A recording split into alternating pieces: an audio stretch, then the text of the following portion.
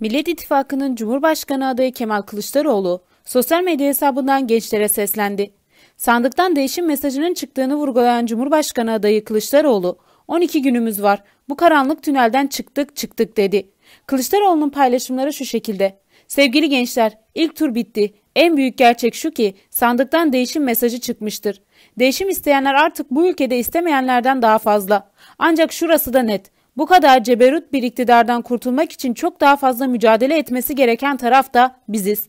Genç arkadaşlarımın mesajını da aldım. Başım üstüne. Onların kaygılarını gidereceğim ama onların da beni duymasını istiyorum. Öyle bir noktada ki her şey domuz bağcılar yüce meclise gönderildi. Kadınları cansız birer eşya gibi sahiplendirmek isteyenlere bütün yolları açtılar.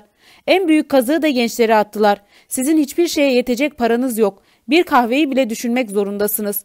Yaşama sevinciniz çalındı. Oysa gençlik kaygısızlıktır. Bunu bir gün bile yaşatmadılar size. Bizler tartışırken onlar size karşı birleşmiş durumda. Şimdi bir bakalım. Günün sonunda elimizde ne var? Dipsiz bir karanlık. Farkında mısınız? Gençliğiniz bir daha gelmeyecek. 12 günümüz var. Bu karanlık tünelden çıktık çıktık. Bağımsız yayınlarımızın devamı için Dürüst Bakış kanalımızı izlediğiniz videonun sağ alt kısmındaki abone ol butonuna basarak takip edebilirsiniz. Ayrıca videomuzu beğenmeyi ve yorum yapmayı unutmayalım.